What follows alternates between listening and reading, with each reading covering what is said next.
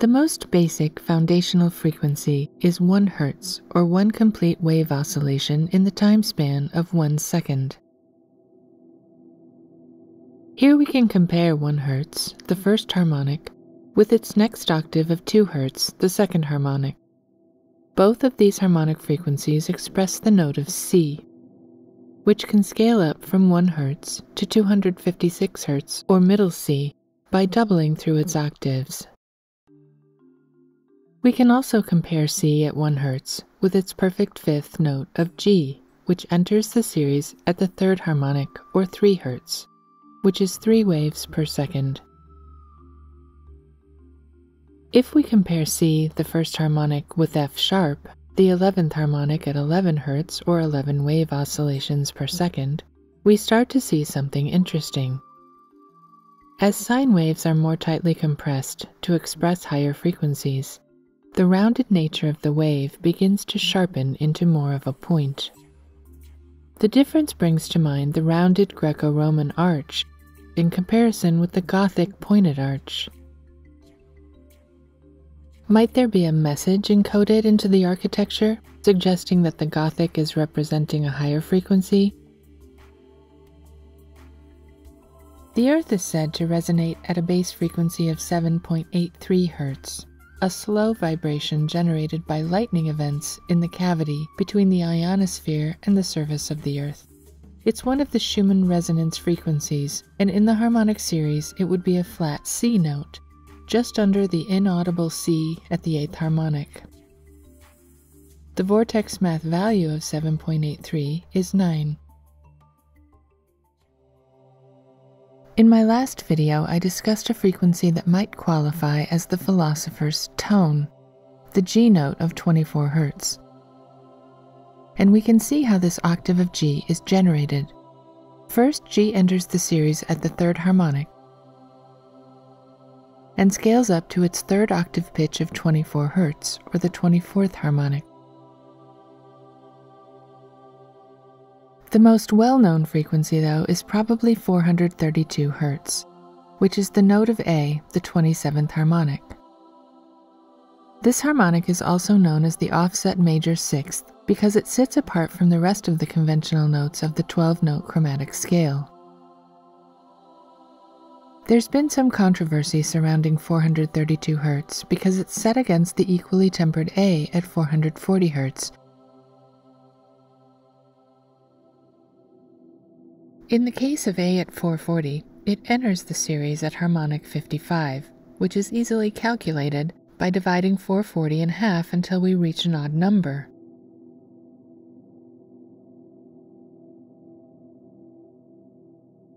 However, A432 enters the series at harmonic 27. We can calculate that by successively doubling 27 through its octaves.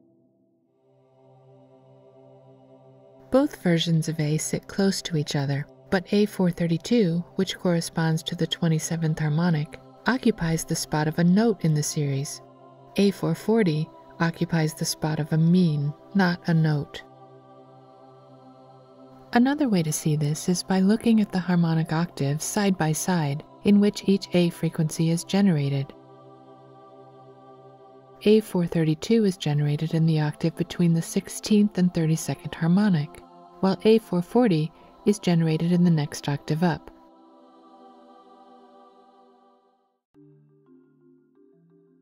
Another popular frequency is 528 Hz, which is said to be the frequency of love and healing. I can't speak to these claims, but I can explore this frequency as it relates to the harmonic series. 528 Hz is a tone found in the solfeggio scale. The ancient solfeggio predates our familiar diatonic scale and comprises a series of six notes that were used in some Gregorian chants. Dr. Joseph Puleo says, The origin of what is now called solfeggio arose from a medieval hymn to John the Baptist, which had this peculiarity that the first six lines of the music commenced respectively on the first six successive notes of the scale, and thus the first syllable of each line was sung to a note one degree higher than the first syllable of the line that preceded it. The tonal names of do, which is ut, re, mi, fa, sol, and la, originate within the solfeggio scale, but their frequency intervals differ greatly from those of our modern diatonic scale. None of these frequencies correspond to the notes in the harmonic chromatic scale. Most are odd numbers and enter the series very late.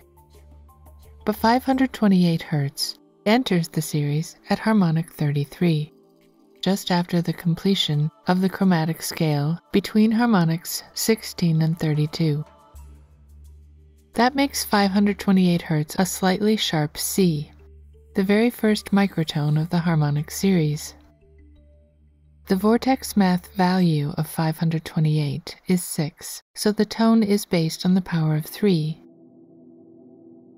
The other tones in the solfeggio scale are also based on the power of 3, as the vortex math values show a repeating sequence of 369. In terms of musical intervals, 936 suggests the order of perfect fifth, tonic, and octave, rather than the chronological tonic, octave, and fifth.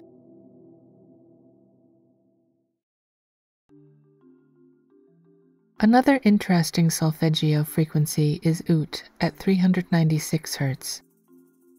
This frequency enters the harmonic series at the 99th harmonic, making it a sharp G note. It's also the 33rd microtone in the harmonic series. The relationship between 528 and 396 is the same as harmonic 1 and harmonic 3, as 528 is a C, although it's sharp, and 396 is a G, also sharp. If you reduce 528 down an octave to 264 Hz, its relationship to 396 becomes more clear 396 is a perfect fifth above 264. When we divide 396 by 264, we get 1.5, the same value we get when dividing the ratio of the perfect fifth, 3 to 2. In between these two solfeggio tones is Re at 417 Hz, and it enters the series very late at the 417th harmonic. As 396 and 528 are a sharp G and C respectively, 417 is a sharp A flat. Fa at 639 Hz enters the series in the 639th harmonic as a flat E note or a flat major third off the tonic of C Sol at 741 Hz enters the series in the 741st harmonic as a sharp W note, one of the phantom notes created in the harmonic chromatic scale that's unacknowledged by mainstream music.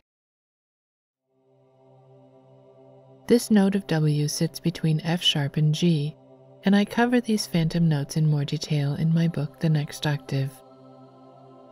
They're also featured in the video how is the harmonic series like a spiral linked in the description?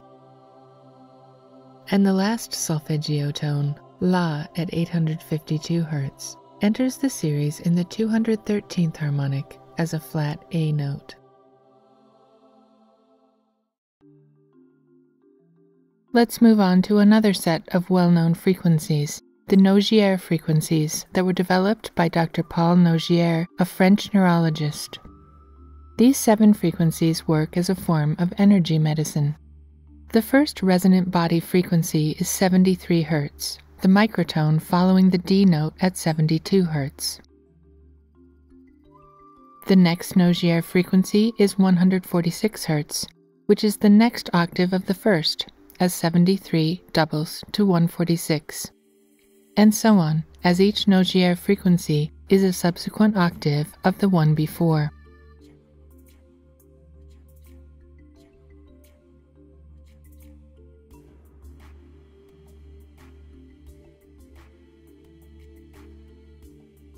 What's really striking about these seven frequencies is the value of each in vortex math.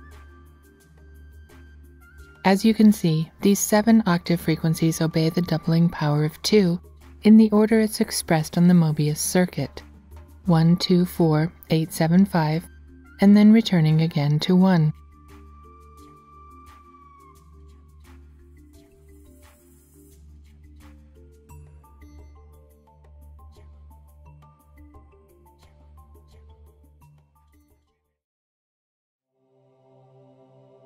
And finally, the frequency of 111 Hz has also become a fairly popular frequency on social media.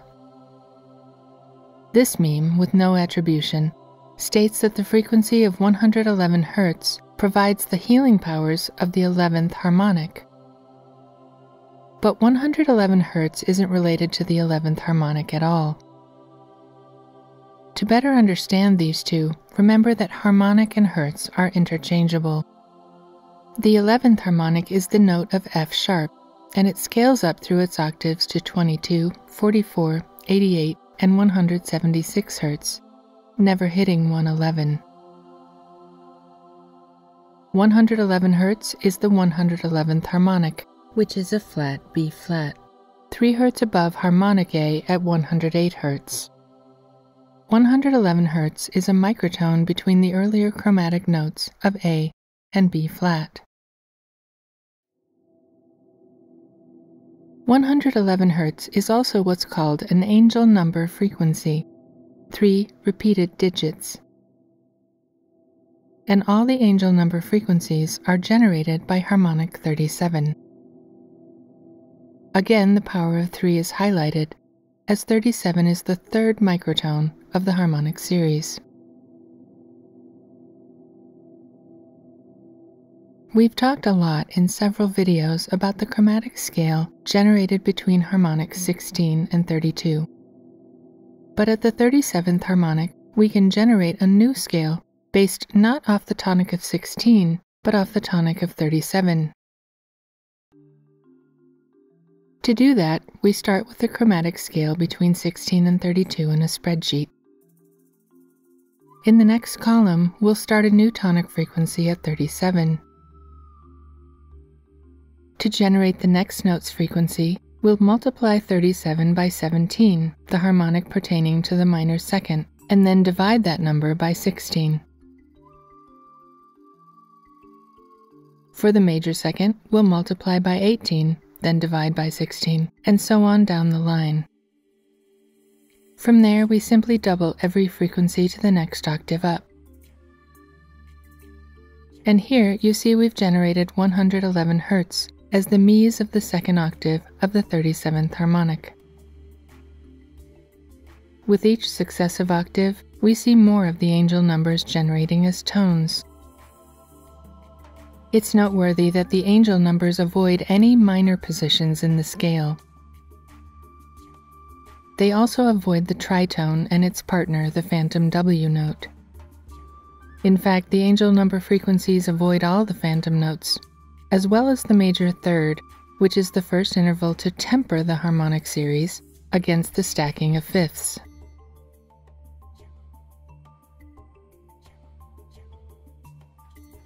And it's not surprising at all that the angel numbers group together most frequently at the central position of mis.